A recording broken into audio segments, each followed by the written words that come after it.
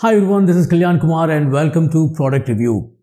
In this video, I'll be unboxing and reviewing the Vanguard Aluminium Tripod ESPOD CX203 AGH with pistol grip ball head. Now this tripod claims to have the following properties. It is supposed to have a unique pistol grip that is short and allows one-handed camera adjustment. The ball head itself of this camera is unique in the sense that apart from panning on three planes, which most of the normal tripods do, it can pan on almost all planes.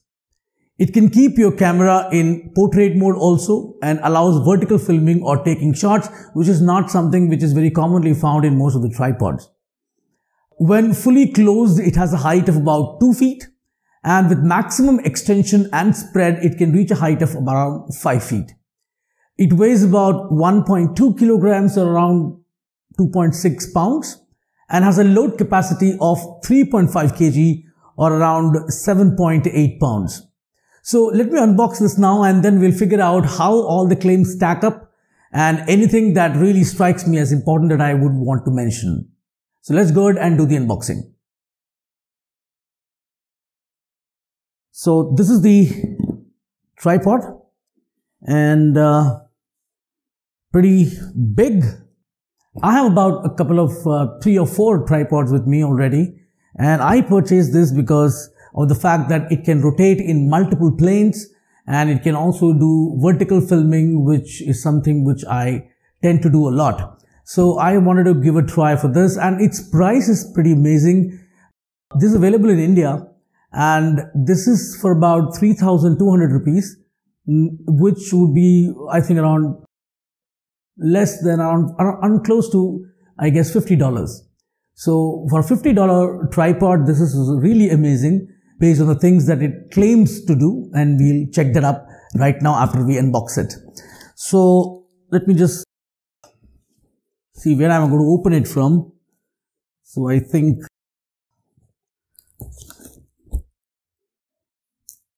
all right. It seems to be very tightly packed. And uh, yeah I think it may be easy to open than it seems. Yes I don't think I need the knife. So there it goes the unboxing. And let me see. Okay the first that we get is the beast itself. This is the tripod. And this is the tripod. Okay, let me keep it here for a moment. It should also give me the carrying case, I think. Okay, everything is inside this, I hope. And so I'm going to keep this aside. And yeah the, the carrying case is inside this. And okay. So this is the tripod. Very simple. Not much. This is the user manual. This is the user manual clamped in between the tripod. All right it hangs by a thread here Can I take it off? Well, I should be able to take it off. Yeah, it's just hanging in with the screw. All right. So that's the user manual. Tells you how to position the ball head, how to remove the ball head or loosen the ball head, tighten the ball head. And these are the legs. As I said, so it's got one clamp here and two clamps. There are totally two clamps. So the extension is with two clamps. So one is this and the other clamp is this. So I'll just show you how, how far it rises up when the legs are fully extended. And the important thing to notice here is this, the bottom part of the tripod. If you notice here, these are highly rubberized. There are a lot of uh, ribbed markings here. So that makes the grip very firm. So on very smooth surfaces, this is going to be pretty strong in uh, holding onto the ground. And this is the ball head. And this is what they tell you about the pistol grip. And as you can see, it can rotate through multiple planes. And this is what I was talking about that, you know, you can use it for a vertical shot. See, it is like this and I can just twist it like this and I can position the camera here and that would give me the, the vertical shot. As usual, there is a bubble here. And in many of the videos of this that I've seen, uh, you know, people talk about this bubble as if it is something which is uh, never been there on tripods. But this is something which you find almost in every tripod. So nothing big about it, but yeah, it's important. You need to have that. And that will tell you how much properly you have uh, kept the, the, the, the, the camera stand. And this can release itself. All you have to do is turn this around and you'll be able to take out this camera holder and attach it to the bottom of the camera, place it right back into this. And there it is. It's, it's, it's pretty stable now.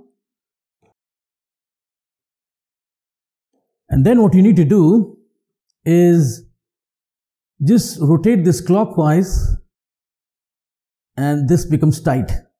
And if you completely rotate it clockwise, this will not move. It will be very tight now. So if you want to move this, rotate it anti-clockwise and then it can move in all possible angles and you can shoot with all possible frames.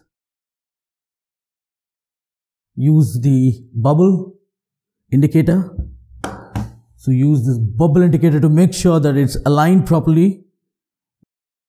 I think, yeah, I think this is fine. This is completely horizontal. So that is the thing here. What you can also do is there is another knob here. If you can look at this knob, this is a knob and if you tighten this, let me show you what happens if I loosen this. Well, what I can do is I can move this thing.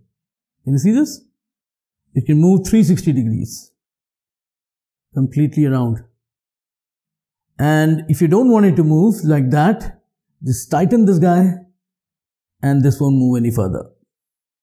So this, this ring is for the movement of the ball head Clockwise is locked, anti-clockwise is open. Whereas this knob is for making sure that this is able to rotate or can be fixed tightly.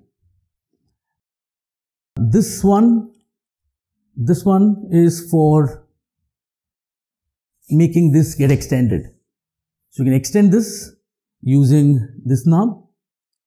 And another important feature that this has is this rubberized ring now what this does is that in case you forget to tighten this knob, I mean, you, this is for opening this extension.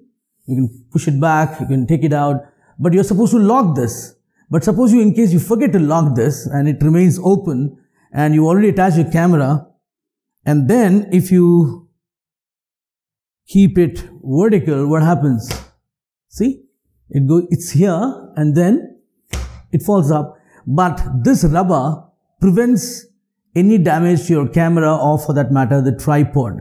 So this is pretty uh, uh, important and I guess and I hope that uh, most of the other tripods also uh, use something like this because sometimes if the camera falls down it will experience a lot of jerk and whereas this rubber is going to make sure that it lands softly.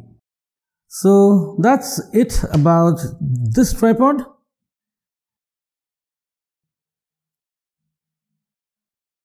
And let me show you how much it extends with its uh, complete legs up and then also how much um, it extends with the extension on top.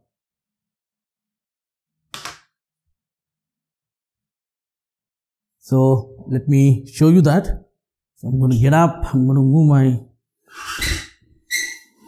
chair. I open this up. Uh, it's pretty lightweight. So sometimes it might feel a little flimsy because of the fact that it is pretty light, but that's pretty good. And this is around 5 feet. Now I'm around 5 feet 3 inches tall. So this is around 5 feet right now. And if I would extend this, this will go up to around 6 feet. If I extend this, this part. So that is the maximum extension that you have. Let me zoom out a little bit. This is the maximum extension that you have. So with this maximum extension, this is the height that you get for this tripod. So pretty decent tripod and I'm going to use this.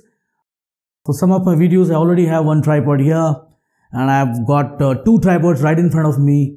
One holding the camera, the other holding the teleprompter. This is the, the top angle shot that I use, which is actually a microphone holder, condenser microphone holder from Rode and I'm using another camera to give, to give me the top angle. So this is also going to be used now. I hope you found this video useful and gave you a good idea as to how this tripod can be used, what is the efficiency of this tripod. And I think this uh, tripod is able to live up to its claims. So I'm going to be using it and in case I find something really unique about this, the most important thing, of course, is this fact that I can, you know, make the vertical shot. I'm really excited about the vertical shot. You won't find this in any other tripod, at least not in most, most of the tripod. So this is pretty interesting to me. So with that, this is Kalyan Kumar signing off. Have a great day. Goodbye and thank you for watching. If you find the videos of this channel interesting and useful and you haven't subscribed to this channel, then go ahead and hit the subscribe button just below the video. The moment you're subscribed, you'll find a bell icon. Click this and it will give you a notification which says send me all notifications for this channel. This means the moment any video is posted in this channel, you'll receive a notification by mail. Just check this box. Hit save. Now you're subscribed to this channel and now you will also receive notifications from this channel. If you like this particular video, make sure that you hit the thumbs up button.